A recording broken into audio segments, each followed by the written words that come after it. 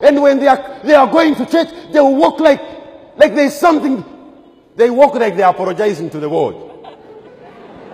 They walk like they are apologizing to the world.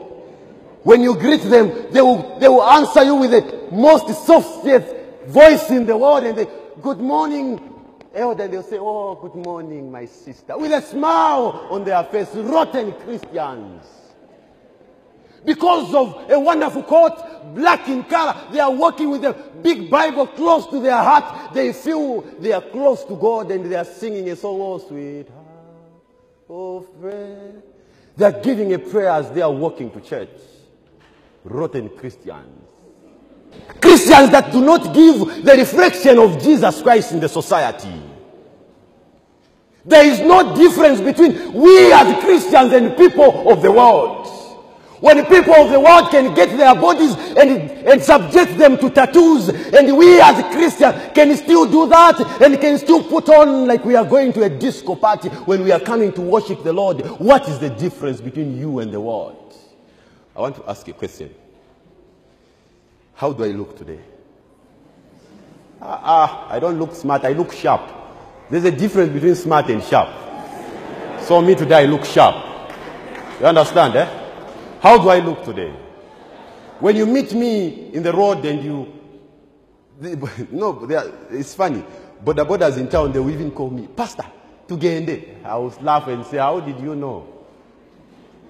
Today I look smart. And everyone else in the church looks smart. What is in your heart? Now check this out.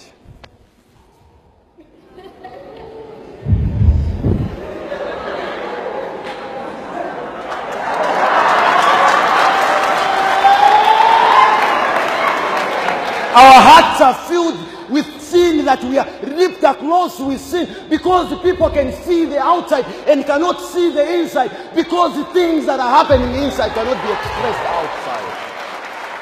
Does your character reflect what is inside you? Does your character reflect what is inside you?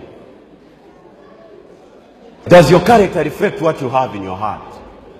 When you looked at me, you said, I look smart, I look sharp, because that is how people see us. But when we come to your place, are you going to give us food with one heart as a Christian? Or your heart is filled with sin and you are lipped across, but you cover yourself with a coat and with a, with a wonderful gown of the, of the singing group, because that's what people think you are, but that is not what you are in your heart.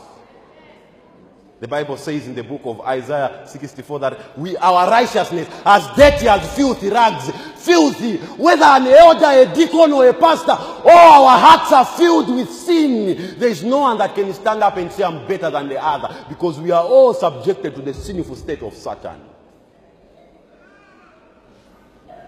Rotten Christians.